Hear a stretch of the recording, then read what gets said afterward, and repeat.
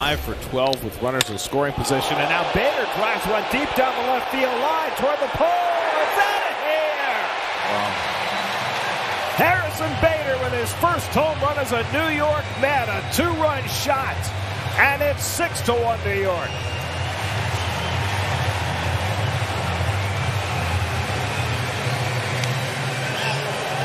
Boy, that happened quick. The guys at the bottom of the lineup continue to produce for the Mets. Taylor a two-run single.